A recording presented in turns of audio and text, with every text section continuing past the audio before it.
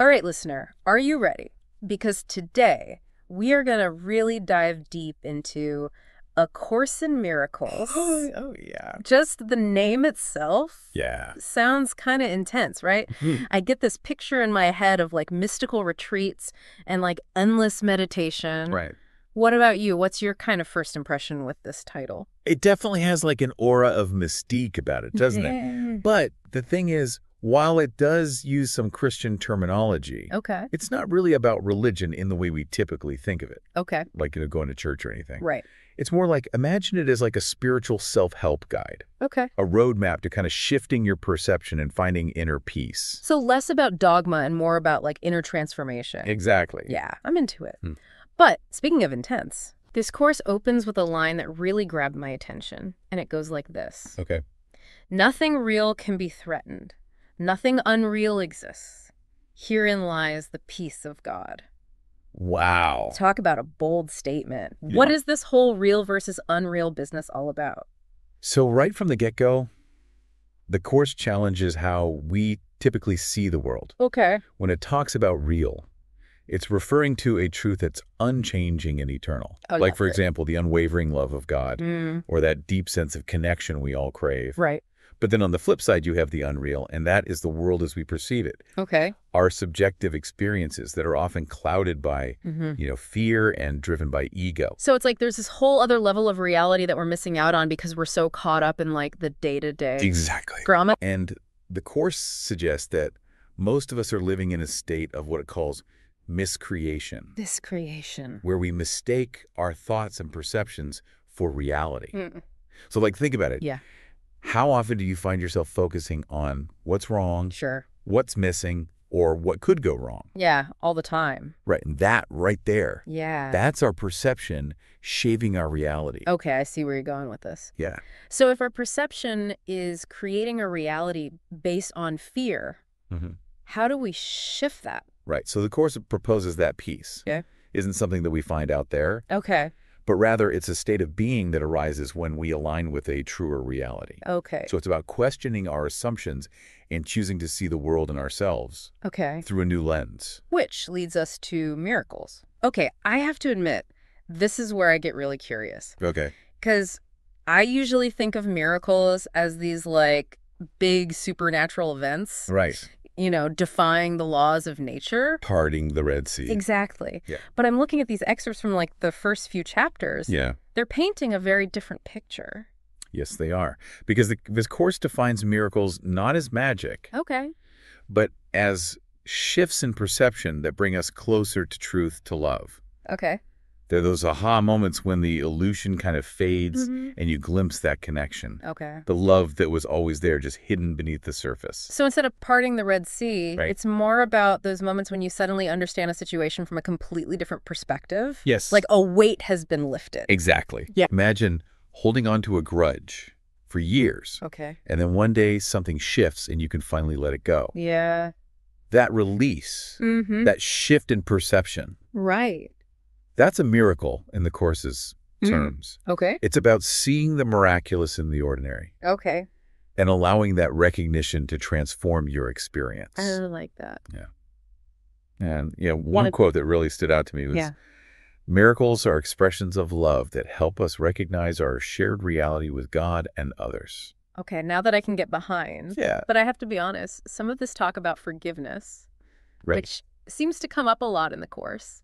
It does. It can sound a bit preachy, you know, Yeah. like we've all heard it before, right? Yeah. Forgive and forget.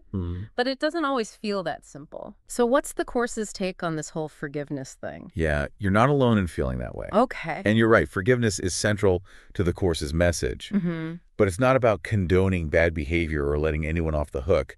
It's actually a radical act of self-liberation. Okay, now that's interesting. Right. Tell me more about that. So the course suggests that holding on to anger, resentment, and judgment, Okay. you know, those heavy emotions that we often carry around, Yeah. it actually keeps us trapped in a cycle of pain. Mm. So forgiveness in this context is about choosing to see the situation Okay. and even the person you feel has wronged you Yeah. through a lens of compassion. Okay. It's about recognizing that holding on to anger hurts you more than anyone else. That makes a lot more sense than just saying forgive and forget. But how do we actually do that? Right. I mean, it's one thing to say it, Yeah. but putting it into practice seems way harder. It is. And the c- Course acknowledges that. Okay. But it starts with a simple but profound shift. Okay. And that is recognizing that our perceptions create our reality. Oh, wow. It's about becoming aware of the stories we tell ourselves and choosing to challenge them. Okay. And a key part of this is understanding this mysterious voice hmm that's mentioned in the preface, Right. the Holy Spirit. Right. There's this mention of a voice. Yes. Almost like a character in itself. Yeah. It seems like a pretty important concept. Yeah. What's that all about? So we left off on this idea of the Holy Spirit. Right. You know that voice we were talking about? This Right. It's not like some booming voice from the heavens. Right. Okay. It's more like this inner guide that the Course talks about. okay. You can think of it like that wise, compassionate presence within you Okay. that sees beyond all the egos, like Mm. fears and limitations. That makes sense, but how do we actually tune into that? Yeah. Like especially with all the noise and distractions of everyday life. that that's the million dollar question, isn't it? Yeah. And the cool thing is the course actually offers some practical answers. Okay. And it's not about, you know, grand gestures or anything. Okay. It's more about integrating like small, consistent practices into your life. Okay. It emphasizes the power of what it calls choosing again. Choosing again. So remember how we were talking about our perceptions shaping our reality? Right. This is where it gets really practical. It's about recognizing when you're caught in that negative thought spiral Yeah. and then consciously choosing to see things differently. Can you give me a real life example? Because Yeah. it's kind of hard to grasp, I think, Yeah. like in the abstract. Absolutely. So, like, let's say I'm at work. Yeah. I'm dealing with a difficult coworker. Yeah. They're constantly criticizing me. Hmm. It's creating a lot of stress. Right. How do I just like choose again Yeah. when their behavior feels so real and impactful, like in that moment? I love that you brought up a workplace scenario Yeah. because it really highlights how easily we can get caught up in the drama. Yeah. So in that situation, the course might invite you to ask, Okay. what if my perception of my coworker's behavior Hmm. is being filtered through my own insecurities or past experiences? Oh, interesting. So it's not about denying their behavior. Okay. It's about questioning the story that you're attaching to it. So it's about taking a step back and trying to see the situation. Yes. And even my coworker with a little more neutrality and compassion, Yes. even if it feels really difficult at first. Exactly. Because oftentimes our ego, Right? you know, that inner voice that thrives on fear and separation, Right. is adding its own commentary to the situation. Okay. It might be telling you, see, you're not good enough. Oh, yeah. Or they're trying to make you look bad. Wow, that really resonates. Yeah. It's like this constant inner battle. It is. Right. It is. But we do have a choice in like which voice we listen to. Exactly. Mhm. And the more we practice aligning with the Holy Spirit's wisdom, hmm the quieter the ego's voice becomes. This is making me think about another concept that comes up a lot Yeah. the ego. Yes. The Course seems to frame it as this kind of trickster figure, Right. always trying to keep us separate, Yeah. afraid, and Uh-huh. stuck in those negative cycles. Spot on. The ego loves to keep us trapped in fear Right. because that's where it feels most powerful. Okay. It's constantly comparing, judging, looking for reasons to feel threatened. So, how do we quiet the ego's chatter then? Right. And make space for the Holy Spirit's guidance? Yeah. It sounds like a constant battle. It can feel that way for sure. Yeah. But remember that concept of choosing again. Right. That's a powerful tool. okay. And this is also where forgiveness comes in, Okay. not as a way of condoning bad behavior, but as a way of freeing ourselves from the ego's grip. Okay, that makes sense because holding on to resentment and anger, Yes. even if it feels justified, Yeah. it just keeps us stuck in that cycle, right? Exactly. And it gives the ego more power. Okay. Forgiveness in this context is about recognizing when you're holding on to those negative emotions Yeah. and making a conscious choice to release them. So it's about choosing to see ourselves and others through Yeah. a more compassionate lens. Yes. Even if it feels really difficult or undeserved Yeah. in the moment. Precisely because ultimately forgiveness Mhm. is about recognizing our shared humanity. Okay. It's about recognizing that we all make mistakes. mm-hmm. We all hurt others, Right. and we all have that capacity for growth and transformation. This reminds me of how casually we throw around the word miracle. Right. Like, oh, it's a miracle I didn't miss my flight. Right. It's a miracle I found my keys. yeah. But the Course seems to be pointing to something much more profound. Yeah. Like a fundamental shift in our perception and experience of reality. It is profound. Yeah. And yet these shifts are happening all the time. Mm. Think about those moments when you experience like a sense of awe and wonder, Okay. like watching a sunset Yeah. or connecting with a loved one, Mm. or even just feeling a sense of gratitude for the simple things. Okay. Those are glimpses of the miraculous.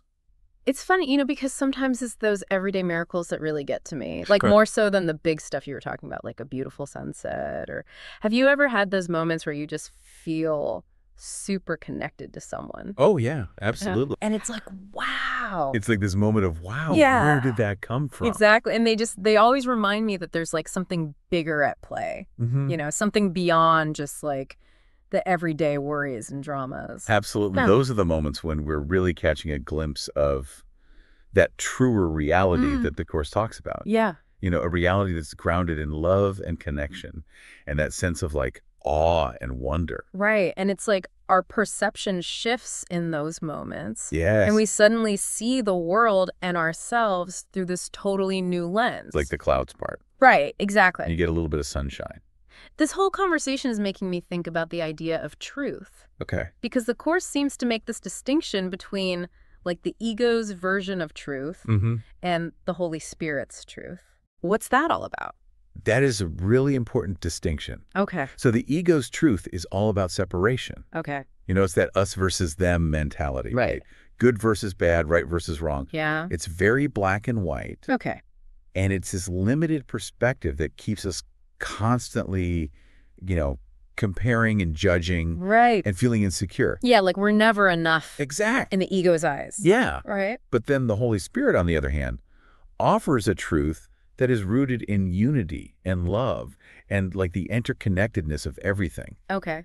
And it's a truth that can be really hard to grasp intellectually. Right. But when you experience it, even just like glimpses of it, Yeah. It's deeply transformative. So how do we start to like tune out the ego's kind of noisy, often negative version of truth and open ourselves up to the Holy Spirit's, you know, more expansive perspective? Well, it's a practice. Yeah. You know, it's a journey of remembering who we truly are. Mm-hmm. And every time you choose forgiveness over resentment, Okay. or love over fear, or even just like pausing to appreciate the beauty around you. Right.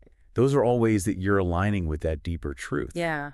You know, it's not about being perfect. It's Mm. about just shifting your awareness little by little. This has been such an eye-opening deep dive, and I think one of the biggest takeaways for me is that like we actually have a lot more power to shape our reality than we often realize. That's the heart of it. yeah. We're not victims of our circumstances. Right. You know, we have a choice in how we perceive the world Yeah. and how we respond to the challenges that inevitably come up. Mm. It's empowering when you really think about it. It is. So, listener, we're going to leave you with this. Okay. What if you could approach just one challenge in your life Mm-hmm. through this lens of forgiveness Yeah. and miracles? Powerful. What would shift for you? Mm-hmm. What new possibilities might open up? So good. Until next time, keep diving deep, keep questioning, and keep choosing love.